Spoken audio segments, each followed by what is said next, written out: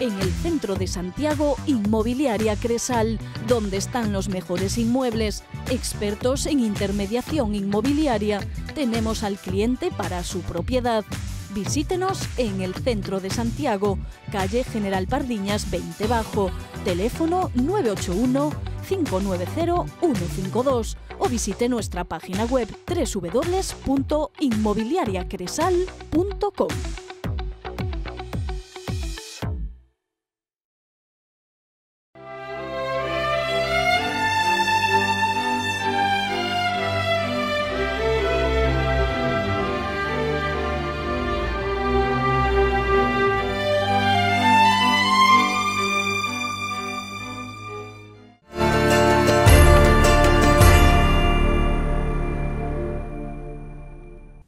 Hola, señoras y señores. El programa de hoy nuestra invitada es Eloína Núñez Masit, gerente de área sanitaria de Santiago y Barbanza.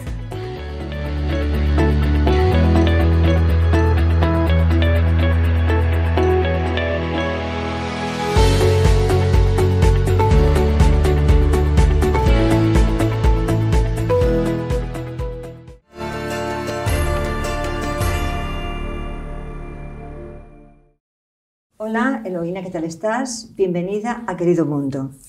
Tú naciste en Orense, en el seno de una familia muy vinculada al ámbito sanitario. ¿Cómo influyó esta circunstancia en tu decisión de estudiar medicina? Pues fue una influencia total.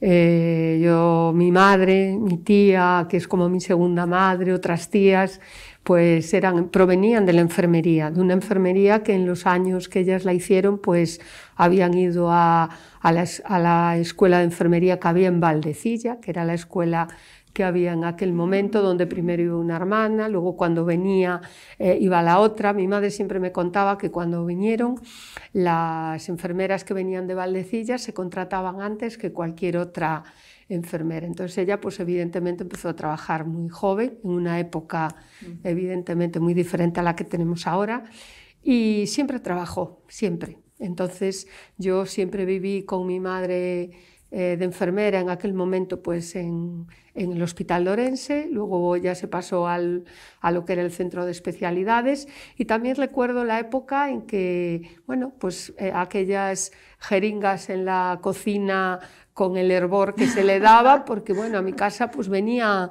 eh, pacientes a, a ponerse Claro, inyecciones, claro, de aquellas claro. se daban muchas inyecciones y bueno, yo era la que encargada de que entrara eh, la persona, esperara y luego ya mi madre se encargaba de eso. Por lo tanto, ¿y qué, por qué yo elegí medicina y no cogí enfermería? Pues porque el cambio que hizo en este caso eh, mi madre fue cambiar a consultas, en donde eran las consultas de antes, que la enfermera pues sacaba las recetas, tenía un papel como de administrativo. Entonces yo decía, no, no, yo quiero curar y yo quiero estar con los pacientes. Entonces yo fue por lo que dije siempre que quería ser médico.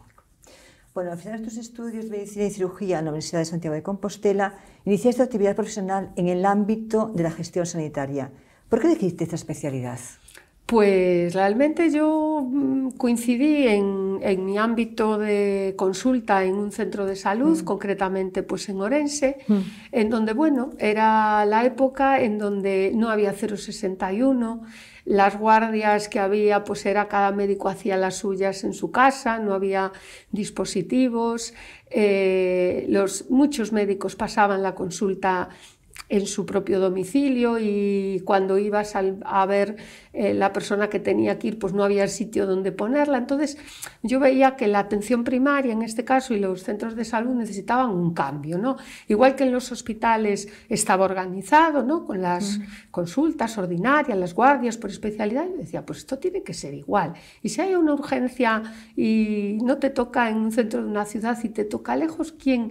Entre que buscas al médico, ¿no? Y entonces, bueno, pues concretamente uno de los profesionales de allí del hospital que, que lo nombraron pues director asistencial en atención primaria, pues me llamó para decirme si quería colaborar, sobre todo en la puesta en marcha de lo que era la urgencia y el 061. Y bueno, me entusiasmó y desde ahí, pues ahí me fui quedando en, en todo el tema de gestionar y de organizar una- un mundo que sí que me apasiona Entre los años 2009 y 2012 gestionaste con una estructura organizativa integrada el área sanitaria de Orense. ¿En qué consiste este tipo de gestión y cuáles son sus beneficios? Bueno, hay que decir que el área sanitaria de Orense la integra, aparte de la ciudad de Orense, ¿no? la villa de, de Berín y el barco de Valdeorras un total de tres hospitales y ciento y pico, 160 centros de salud aproximadamente, ¿no? Sí, la, el área sanitaria de Orense es la provincia de Orense uh -huh. y es una población muy dispersa, con una población muy envejecida y efectivamente un complejo hospitalario en Orense y dos hospitales comarcales en Berín y en el barco de Valdeorlas. ¿Qué hicimos en ese momento? Pues en ese momento lo que hicimos era, eh, los pacientes siempre nos decían, pues si me tocaba y era de la zona del barco, tenía que contarle allí mi historia, y si venía Orense la volvía a contar, y si iba al médico de primaria había que volver a contarla. Y luego había, pues en este caso había cuatro gerentes, en cada hospital un gerente sí. y en atención primaria otro gerente. Entonces, para hacer algo en Berín había que hablar con un gerente, para hacer algo en el barco con otro. Y luego pues había una figura de un director provincial que era como el que ponía orden, ¿no? Cuando no llegábamos a acuerdos en, a la hora, pues a lo mejor de hacer un programa de salud para la población. Uh -huh. Entonces, realmente, ¿qué se hizo? Pues que todo eso, que evidentemente desde la propia Consellería tiene como objetivo sanitario, pues hacerlo de tal manera que es una persona, ¿no? Una persona con un equipo la que pone toda la organización para llegar a ese objetivo. Y de la otra manera, pues estaba muy compartimentado. Y luego también eh, nos encontramos con que a raíz de esa unificación, pues no solo era tema asistencial, sino también un tema evidentemente económico, ¿no? por economía de escala. Pues mire, yo recuerdo que, que en el barco de Valdeorlas la empresa de lavandería era la misma que la del complejo hospitalario de Orense. Bueno, pues el precio de kilo de ropa de lavar en el barco de Valdeorlas era tres veces más que el complejo de Orense, porque había menos cantidad de ropa en un comarcal que en el otro. Cuando nos unificamos y sacamos la lavandería, la lavandería era para toda el área y por lo tanto los precios pues bajaron se ajustaron, muchísimo. Se ajustaron. Además también se empezó a utilizar un poco la telemedicina, ¿no? Sí, en aquel momento ya empezamos con dos especialidades que eran en dermatología, la teledermatología, entre lo que eran los profesionales de atención primaria y los dermatólogos que uh -huh. estaban en los hospitales, y también la teleoftalmología, ¿no? en el sentido del fondo de ojo, ¿no? pacientes que ya evitarle ese traslado al oftalmólogo en donde ya el médico de primaria pues, le hacía ese fondo de ojo. Empezamos con esa telemedicina, hoy está mucho más desarrollada. Por eso, hablando de telemedicina, explícanos qué es una consulta E. A ver, las e-consultas significan que son, como hoy tenemos toda, vamos a ver, tenemos una herramienta muy importante en Galicia que es la historia clínica única para todo el profesional sanitario, en el hospital que esté de Galicia, en el centro de salud que esté, en el dispositivo que esté en un concertado, la historia clínica se tiene acceso a las pruebas y a todo lo que se le hizo a ese paciente. Entonces, esa herramienta que no tienen muchas comunidades autónomas, pues Madrid no la tiene, cada hospital tiene una y los centros tienen otras, eso lo que ha hecho es facilitar el trabajo en red, de tal manera que si yo hago una radiografía o un TAC, en este caso, pues en el Barbanza, uh -huh. el médico que te, está en Santiago está viendo esa prueba y esa imagen eh, viaja, viaja la imagen, viaja la prueba de voz y que viaja en todas las eh, interconsultas. El médico de primaria, que puede enviar esa imagen, puede enviar una foto que haga por una lesión cutánea, puede enviar el electro, puede enviar ese fondo de ojo. El médico del hospital, sin tener que venir al paciente, le contesta en el sentido de que o tiene que ver ese paciente o realmente con eso vamos a que este paciente haga estas cosas o este tratamiento o las dudas que puede tener y ese paciente se le resuelve en el sitio más cerca y evita de su tener domicilio que viajar a, y evita viajar al hospital, paciente. Entonces. ¿Y la telea? El telea es ya la monitorización en casa. A ver, hemos evolucionado de tal manera que esa telemedicina ¿no? hoy ya la tenemos incluso dentro del paciente en su casa. Es decir, eh, cuando empezamos precisamente la pandemia, muchos de nuestros pacientes estaban en casa, no estaban ingresados. Fuimos el área que menos pacientes, o sea, que más pacientes teníamos en casa monitorizados. ¿Qué tenían esos pacientes? Tenían unos dispositivos de, bueno, pues la, medir la tensión arterial, le poníamos un pulsiosímetro y a través de un programa electrónico el médico, en este caso que teníamos un equipo de atención formado por enfermeras y médicos, la enfermera está continuamente viendo cómo está el ¿Cómo está el paciente, paciente, ¿no? cómo se encuentra y detectando si ese paciente en cualquier momento empeoraba y tenía que venir. Falta una atención puntual y urgente, Exactamente. ¿no? Hoy tenemos todo el tema del autocontrol del sintrón. Yo recuerdo cuando los sintrones había que hacerlos en los hospitales, luego en los centros de salud y ahora incluso pacientes que lo pueden hacer dentro en su domicilio. Por lo tanto, conectado, en este caso con el hematólogo, con su médico del centro de salud, el paciente ya no tiene ni que moverse de casa. Fantástico. Bueno, en la actualidad, desde el 17, creo, desde el 17, gerencias con enorme éxito el área sanitaria de Santiago y Barbanza, integrada por cinco hospitales, el clínico, el Gil Casares, Conso, el psiquiátrico de Conso y el Hospital Comarcal de Barbanza, y por 76 centros de salud. Un enorme complejo sanitario integrado por numerosos servicios. Hablemos de algunos de los más destacados, por ejemplo, de la neonatología. Sí, la neonatología es uno de los servicios punteros en el hospital junto con otros. ¿Qué tenemos en neonatología que nos distingue de, otros servicios de neonatología del país? Nosotros tenemos un centro de referencia de enfermedades metabólicas raras europeo. Es decir, hay mm, en España, se puede dar en función de las características de un servicio para determinada enfermedad, ser centro de referencia. Puede ser centro de referencia a nivel nacional, a nivel gallego, a nivel europeo. Y nosotros, concretamente en neonatología, somos centro a nivel europeo. En pandemia, en la época de pandemia, que se intentó, pues sin duda, cuanto menos vinieran los pacientes mejor, tuvimos pacientes pues, de Lituania, de, de países del mundo que acuden al servicio de neonatología. Enfermedades metabólicas son, por ejemplo, diabetes y cosas así, supongo. No, son las enfermedades raras metabólicas. raras metabólicas, las raras, son no las raras. comunes. Vale, Somos vale, vale. centro de referencia europeo. Tenemos un laboratorio de metabolopatías que detecta todas estas enfermedades. Desde el principio Galicia fue pionera en la detección de los marcadores, ¿no? igual que cuando nace un niño con, ¿no? se le pinchan el talón para Sí, detectar, sí, sí, sí, ¿no? sí. Pues aquí lo que hacemos es que tenemos muchísimos marcadores, muchísimos con respecto para detectar todas, la mayoría de las enfermedades raras que hoy tienen marcador para poder Fíjate, detectarlas. fíjate. Y luego también es la referencia en la hipotermia neonatal activa, ¿no? ¿Qué es esto? Cuéntanos un poquito esta técnica de... Pues yo, yo creo que la, la técnica nos, la, nos la haría muchísimo, nos la contaría mucho mejor la jefa de servicio, que es la doctora Couce. ¿no? Sí. Es un enfriamiento que realizan en, concretamente en la UCI de neonatos para pues, todos estos niños que salen o que nacen, ¿no? Eh, pues muchas veces, mm, si vamos al servicio, tienen allí fotos de los niños, de cómo van evolucionando. Niños que a lo mejor nacieron con 200 gramos de peso. Lo que es tener que hacer eh, con ese bebé, ¿no? para que el bebé se alimente, para que el bebé salga adelante y ver cómo vemos hoy pues niños niños no, chicos ya, ¿no? Que dices tú, pues cómo Sí, pudo yo conozco un caso impresionante, que ahora es un niño enorme además. Exactamente. enorme. O sea Exactamente. que la verdad es que sí. Bueno, el de, por ejemplo, de neurología, con la unidad de ictus, Neurología es un servicio muy pionero, tanto a nivel gallego como a nivel nacional e incluso internacional. Ahí tenemos también centro de referencia de la epilepsia, ¿m? Centro de referencia del Parkinson, es decir, nos vienen pacientes de, toda España.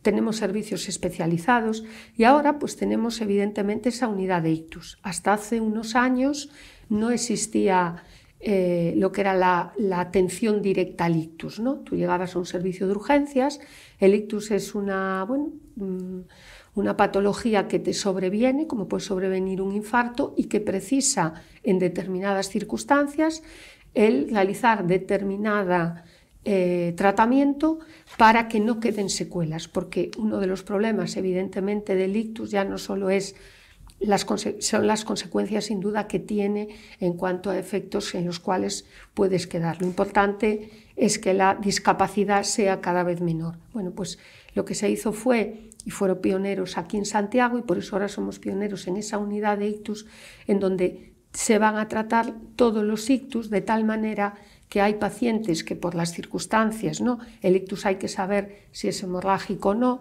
pues se le puede hacer una trombectomía o no, pues esos pacientes ya directamente en la unidad de ictus, ¿no?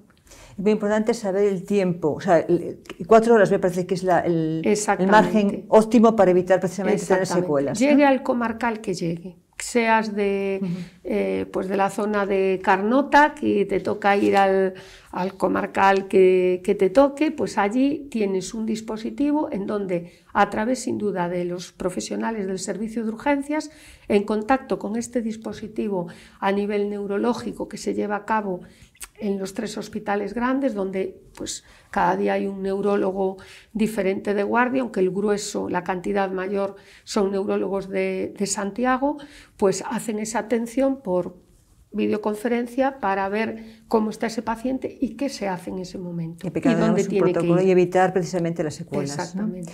Eh, igualmente, este, este, servicio coopera con el de neurocirugía.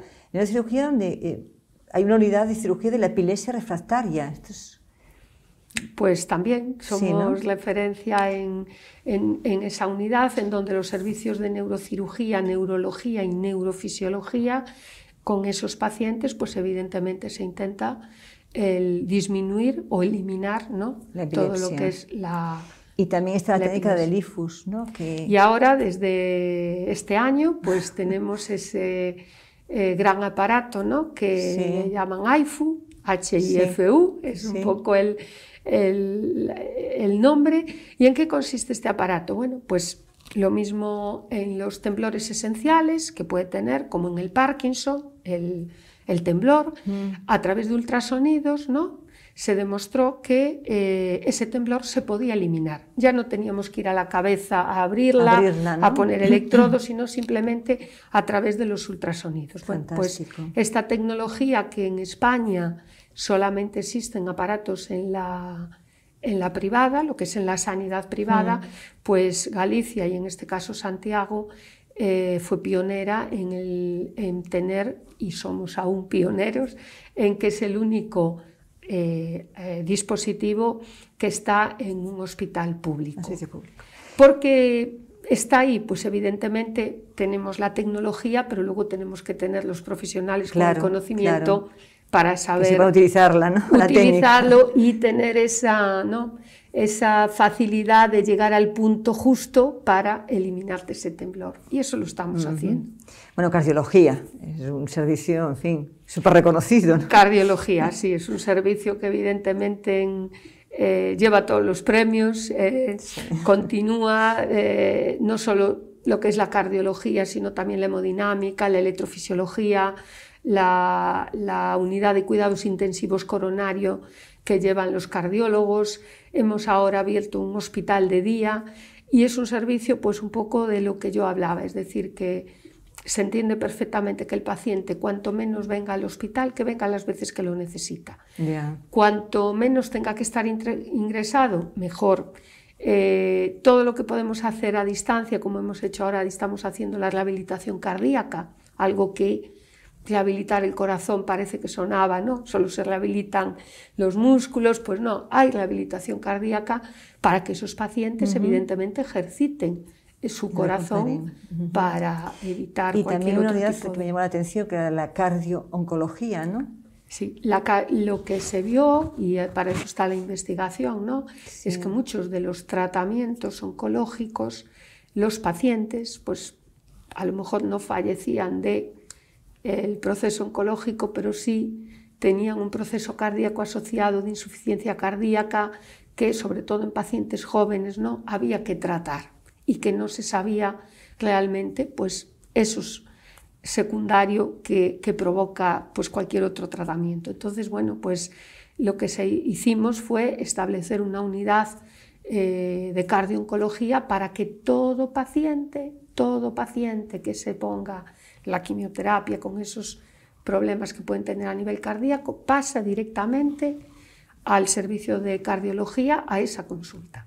Es como hacerlo continuo. Ya, ya, ya. O sea que la toxicidad de la, de la quimio daña el corazón también, puede dañar el corazón. Determinadas, otras dañarán otros órganos, pero bueno, en el, en el tema cardíaco pues será algo que viendo la casuística pues Perfecto. Vamos a prevenir que ese paciente que va a tener este tratamiento no tenga afectado el corazón. Bueno, ¿y el servicio de pediatría?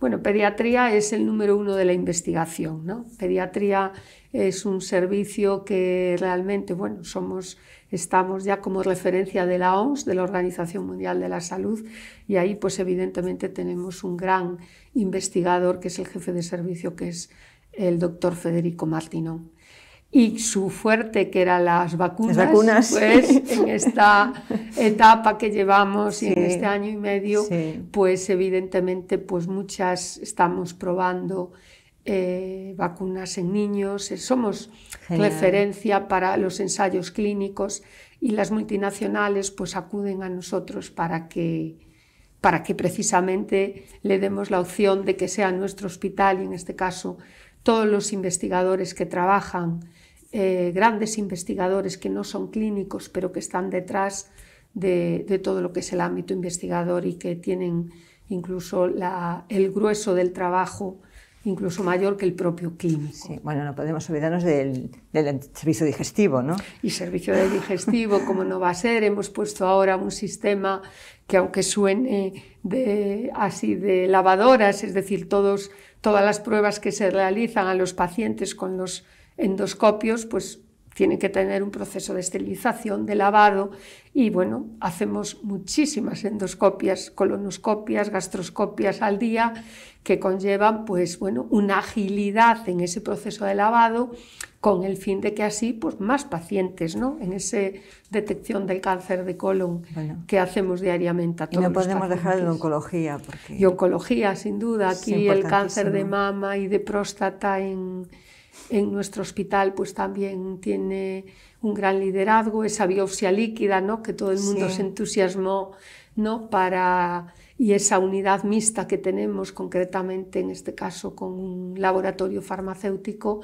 que a nivel mundial pues somos referencia en la investigación del cáncer. Háblanos del CARTI. ¿Qué es el CARTI?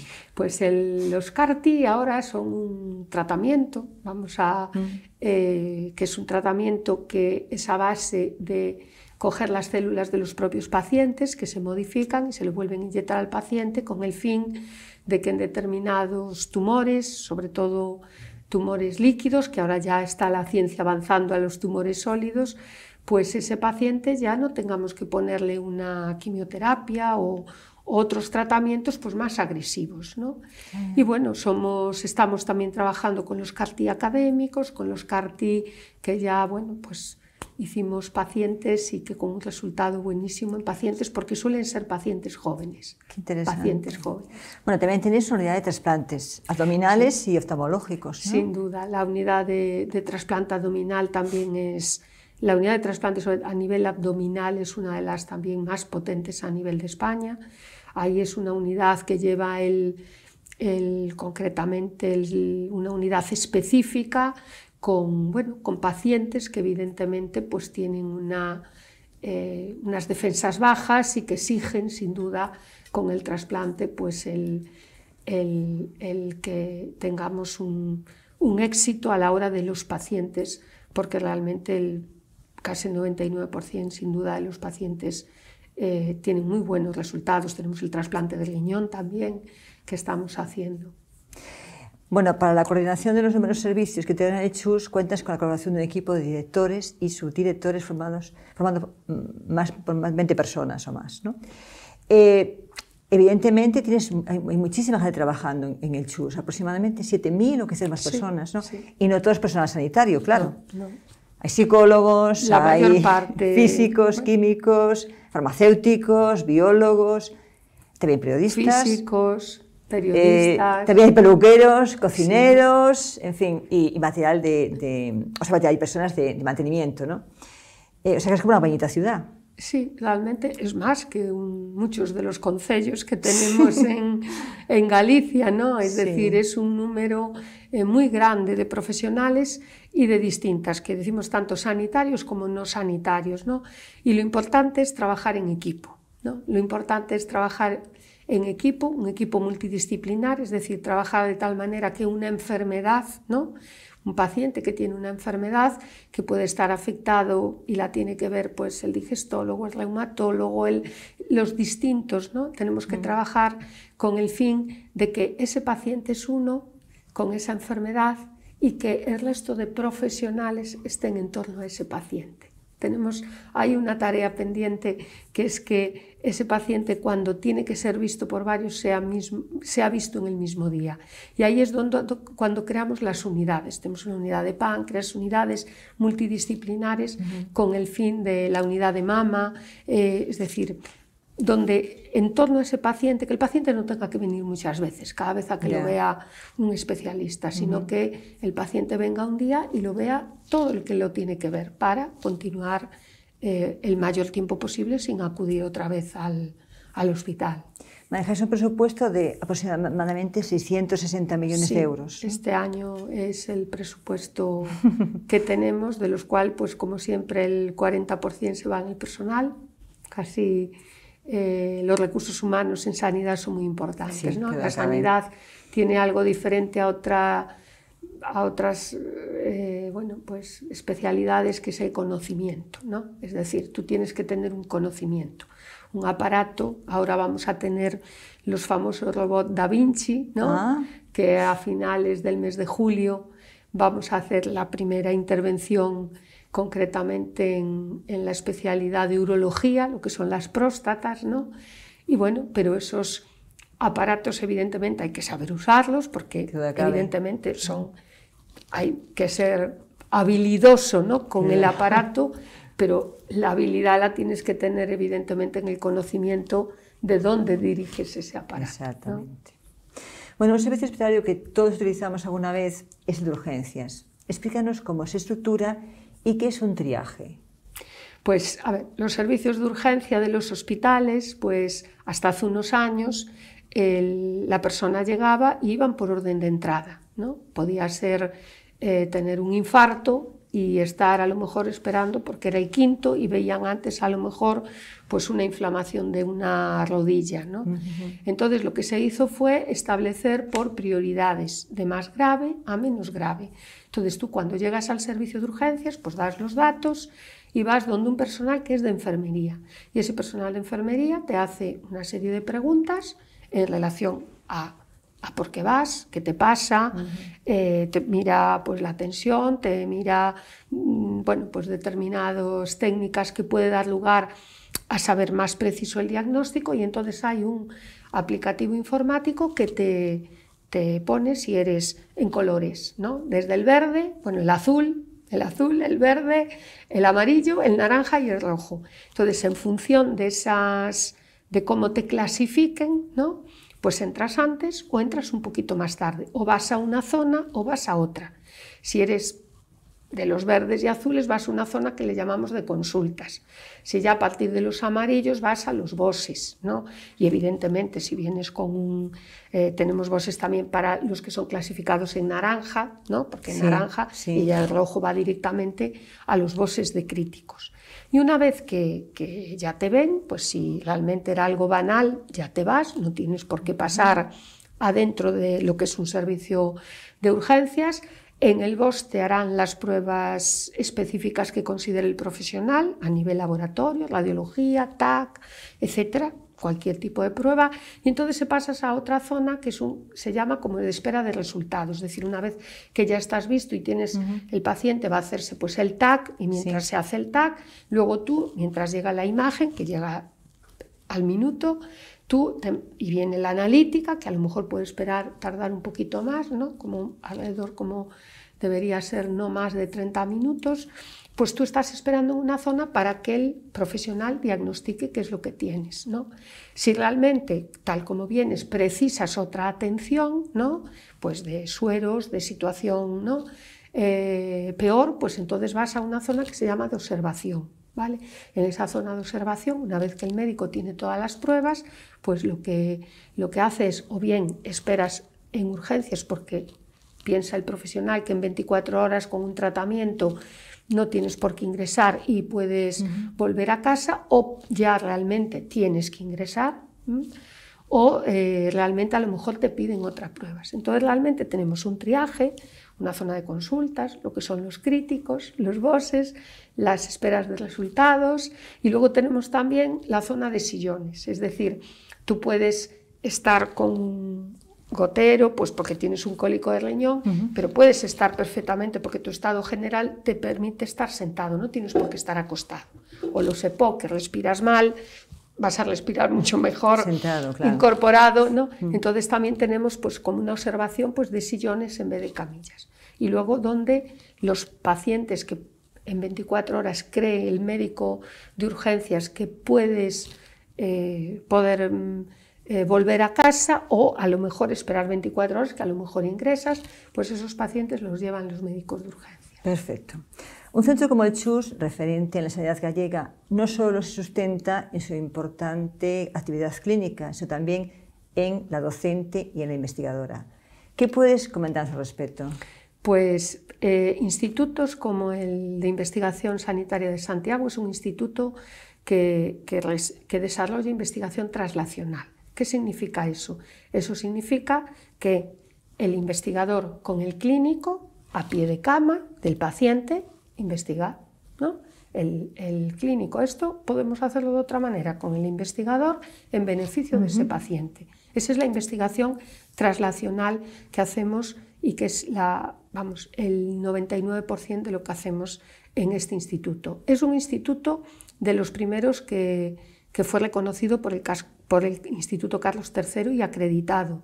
Y es uno de los institutos que, bueno, como veíamos eh, ahora en el patronato que siempre tenemos a finales de, del mes de junio, pues cada vez eh, capta más ingresos, cada vez hay más personas trabajando en el instituto y cada vez tenemos más patentes, más ensayos clínicos, más financiación. Es decir, está creciendo a pasos agigantados. La verdad que la ciencia también crece a pasos agigantados y por lo tanto tenemos que ponernos a su altura. ¿Esto qué hace? Pues que esa investigación, junto con la docencia y la asistencia, eso es lo que se denomina que es la excelencia. Y realmente pues el, el Hospital de Santiago es un hospital de excelencia. ¿Colaboráis con la USC?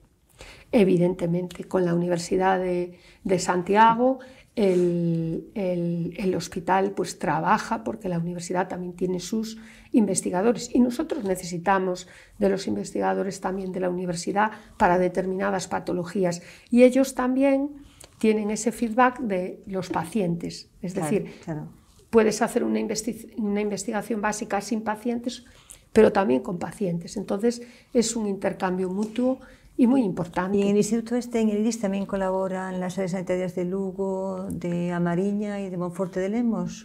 Los institutos, en un determinado momento, cada hospital tenía un instituto. ¿no? Entonces, lo que se hizo en Galicia pues fue igual que se hicieron las áreas sanitarias, y tenemos el mapa en siete, pues se hicieron tres institutos.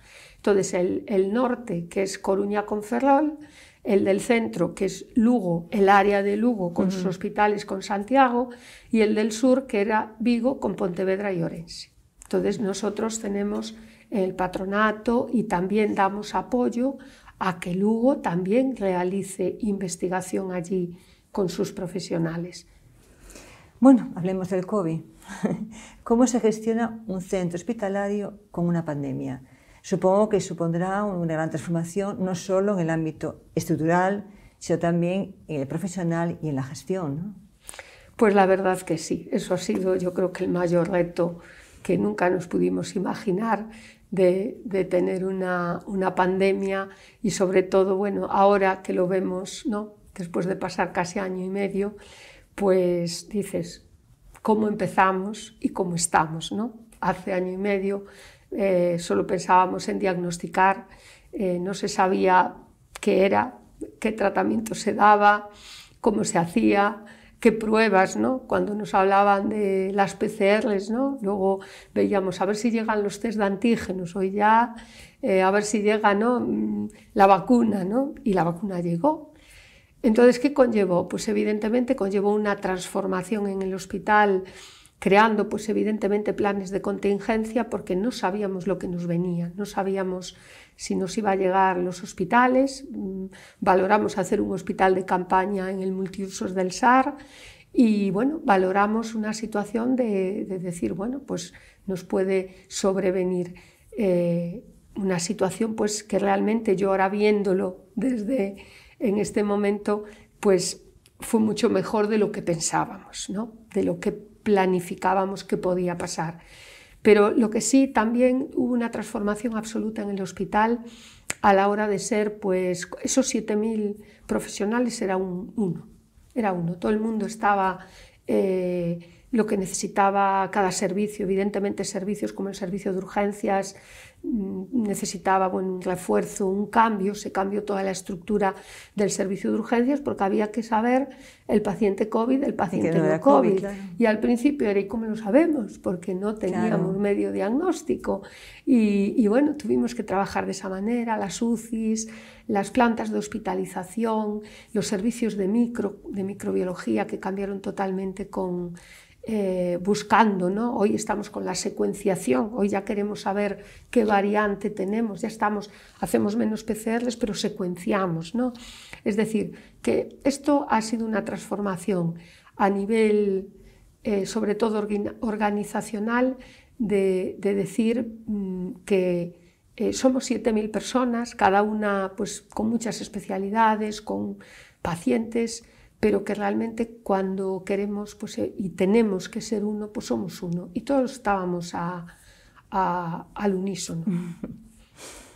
Bueno, lo habéis hecho francamente muy bien. O sea que...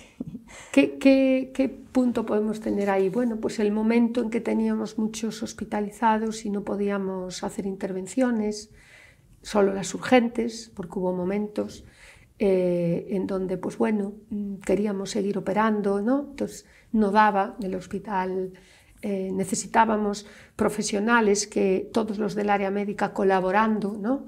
Se hicieron equipos, se hicieron grupos, eh, si pasamos de 20 se añade este grupo, si llegamos a 25 al otro, es decir, teníamos todo bien organizado. La verdad, el plan de contingencia, la UCI, podíamos llegar con los medios que teníamos hasta 70 camas, ¿no? porque bueno, pues decíamos, pues aprovechamos la UCI pediátrica, eh, abrimos en la antesala de quirófanos y montamos también pues, para el despertar de los pacientes, por si la raya la necesitábamos para los pacientes críticos. Bueno, es una situación que la verdad es, es un reto. Un amigo mío que ya está jubilado, que fue gerente, me decía que me mandó un día un mensaje, me ponía, qué suerte tienes estar gestionando este reto.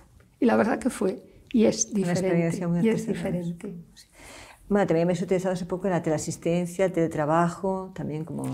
Todo lo que decía que el paciente que podía estar en su casa y no estar ingresado, mm.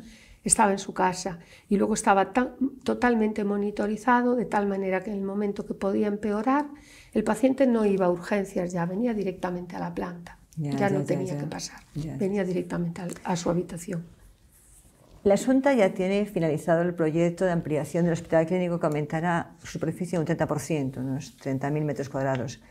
¿A qué zonas afectará y cuáles serán los servicios beneficiados de esta ampliación? Pues va, va a ser una ampliación lateral, ¿no? es decir, eh, vamos a, crecer lateralmente, de tal manera... Bueno, no va a ser un pues edificio exento, va a ser una, una va a ser una lateralidad y continuado y, y, perfectamente, es decir, lo vamos a poner más largo, por decirlo de alguna manera. ¿no? Entonces, bueno, pues la zona de consultas pues se va a ampliar hacia ahí, ¿no?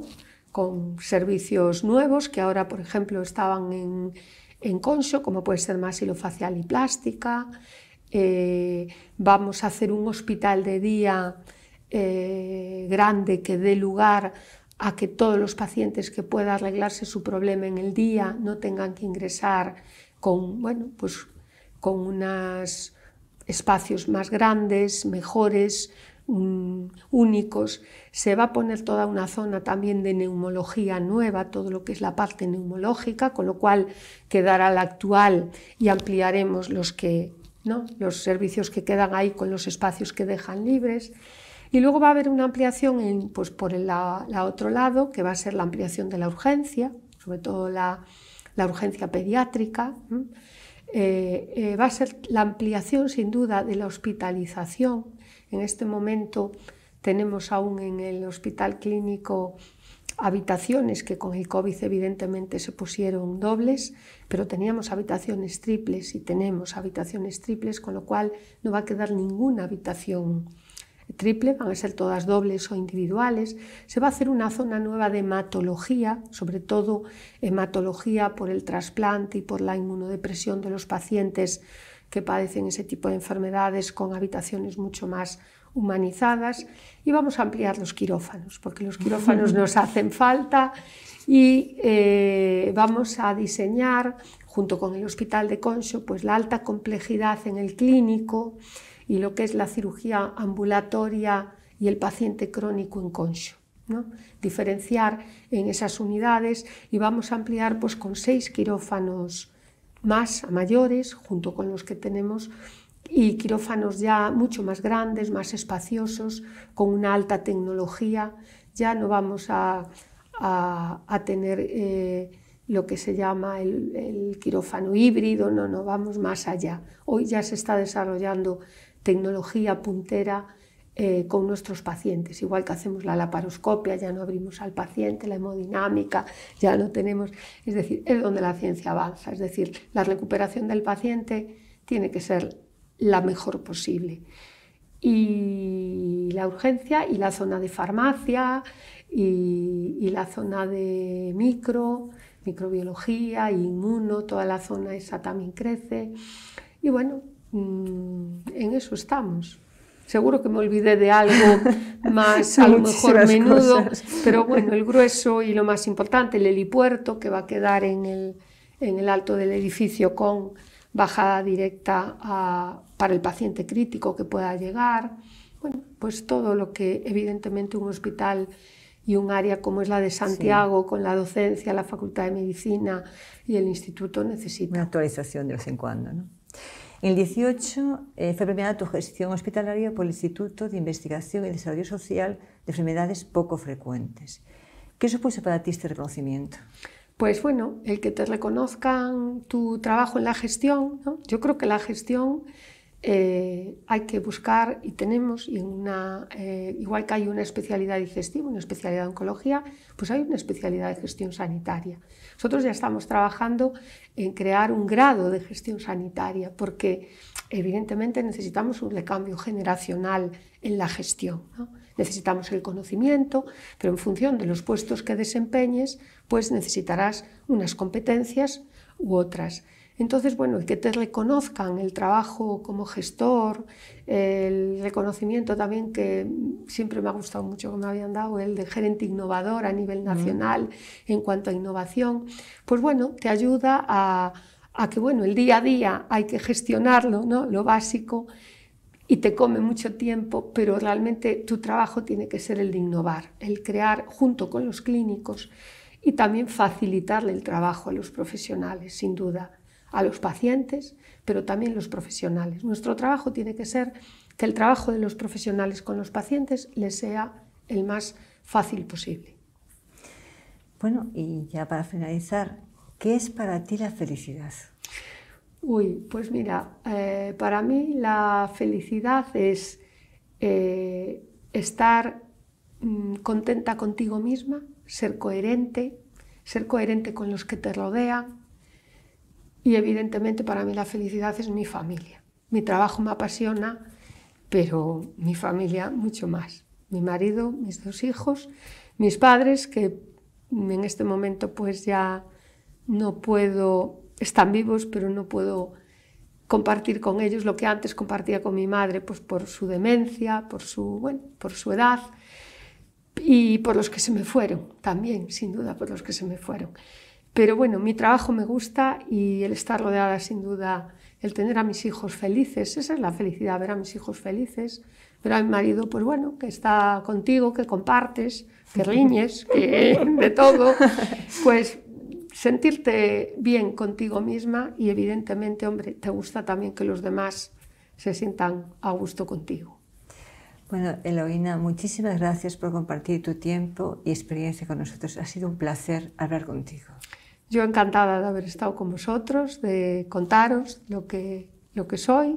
Soy una persona normal, una persona que se dedica a que creo que en la vida estamos para hacer las cosas mejor y alguien las tiene que liderar, porque quedarse con que todo siempre se ha hecho así, creo que no, no debemos ser conformistas. Y es lo que le, siempre le he dicho a mis hijos y que tienen que siempre buscar metas y buscar retos, que eso es lo importante y eso es lo que nos hace felices.